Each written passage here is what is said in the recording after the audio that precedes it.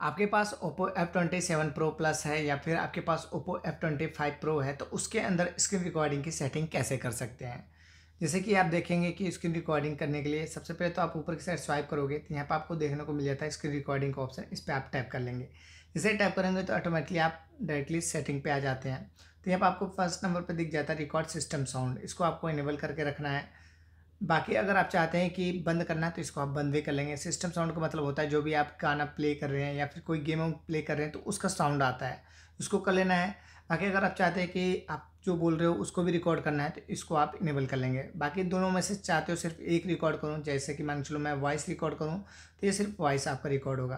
बाकी ये डिफिनेशन होता है, इस पर आपको जाना है तो यहाँ पर आपको करना क्या है मीडियम पे जगह पे जाके आपको करना क्या है कस्टम पे जाएँगे तो यहाँ पर आपका रेजुलेशन को बढ़ा देना होता है। ठीक है? तो यहाँ से आप रेजुलेशन को बढ़ा देंगे तो इसकी क्वालिटी अच्छी हो जाती है, आपको करना है बैक।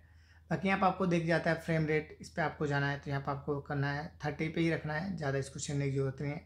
हाई नोटिफिकेशन है तो इसको आपको इनेबल करके रखना है। क्या कि कभी भी आप स्क्रीन रिकॉर्डिंग करते हो तो उस टाइम पे आपका नोटिफिकेशन बार बार आता है तो आपके स्क्रीन रिकॉर्डिंग में रिकॉर्ड होता रहता है। तो इसको आप इनेबल कर दोगे स्क्रीन रिकॉर्डिंग में तब नोटिफिकेशन नहीं आएगा।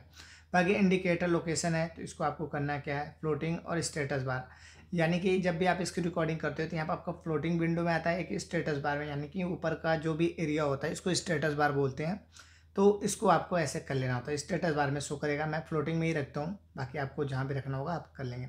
बाकी रिकॉर्ड फ्रंट कैमरा वीडियो यानी कि आप जब इसको इनेबल कर देते हो तो इससे क्या होता है कि जब भी आप इसकी रिकॉर्डिंग करते हो तो आपका फ्रंट कैमरा साथ में भी रिकॉर्ड होता है। बाकी सो स्क्रीन टच तो इसको आपको बंद कर देना है। इससे क्या होता है कि जब भी आप किसी चीज़ को टच करते हो तो वाइट वाइट डॉट बनता है तो इसको आपको बंद कर देना है।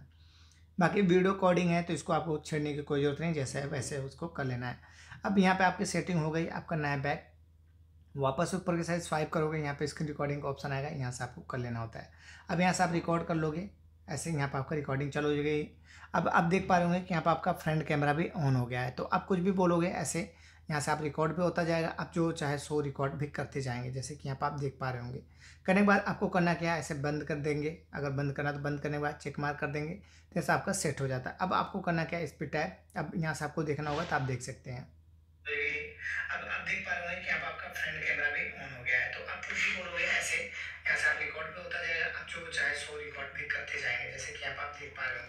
तो इस तरह से आप अपने फ़ोन में इसकी रिकॉर्डिंग की सेटिंग कर लेंगे। अगर वीडियो अच्छी लगेगी तो लाइक कमेंट शेयर सब्सक्राइब कीजिएगा। बट अगर किसी कंडीशन में आपके स्टेटस बारे में इसकी रिकॉर्डिंग का ऑप्शन नहीं आता तो उस टाइम पे आपको जाना है इस पर एडिट टाइल पे जाएँगे और यहाँ पे आपको ये वाला ऑप्शन दिखेगा रिसेट कर देना होता है। तो जो ऑप्शन आपका मिसिंग हुआ, वो वापस से आपके आ जाएगा।